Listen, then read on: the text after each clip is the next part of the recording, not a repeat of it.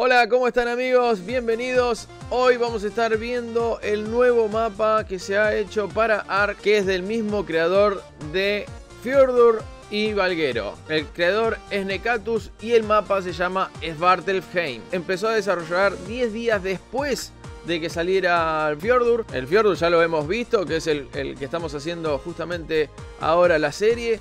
Eh, y lleva más o menos un 40% de desarrollo, ¿sí? Hay mucho por hacer todavía por el mapa. Ahora lo vamos a estar descubriendo con ustedes. ¿Para qué plataforma es? Es para PC y Steam, ¿sí? Ahí se meten a la workshop y lo pueden reclamar, así se va descargando. Y lo pueden jugar y se pueden divertir. Vamos al mapa, lo vamos a descubrir juntos. El nuevo contenido del mapa es tenemos nuevos recursos de oro puro, mitril y más recursos. Nuevas variantes en Dinos Alpha con más y mejor loot. Variantes personalizadas de Dino, eso viene en un modo aparte que vamos a estar explicando más adelante.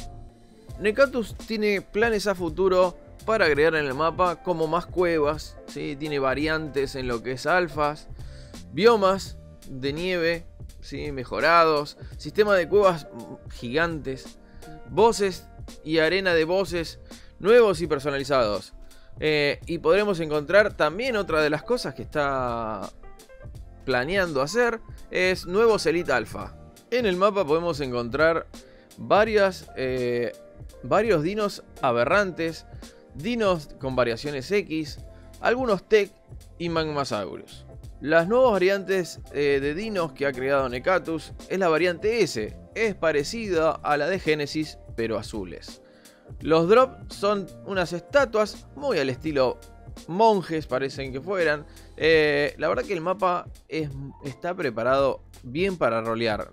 Tiene muchas cosas de lo que hemos visto en el Fjordur. Es un, es un mapa que, que abunda en lo que es cascadas, eh, montañas. La verdad que para los que hemos jugado Fjordur eh, jugar este mapa, la verdad que está muy, pero muy bueno. Tiene muchas, pero muchas zonas de lava, eh, con cascadas de lava también. Es digno de jugar. Una de las características que tiene este mapa es que no spawnean ningún volador. Ni tampoco los dueños de los servidores pueden cambiar esto. El mapa es obligatoriamente terrestre. ¿sí?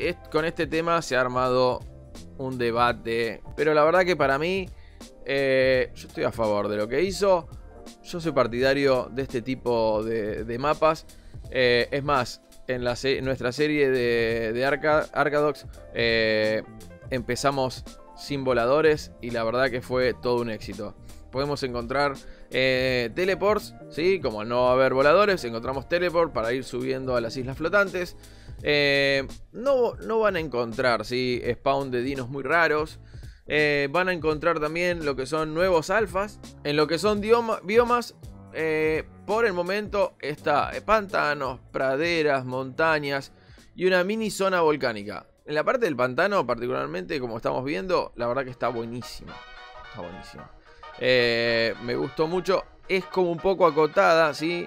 es media chiquita, pero es como que tiene una estética muy linda donde se pueden ver los hongos, los tipos de color, la variación. La verdad que está muy, pero muy buena. Es, es, tiene eso. Es como que él, todo lo que es la parte estética le pone mucho, pero mucho amor. Eh, hay una isla con un castillo con cofres de loot, ¿sí?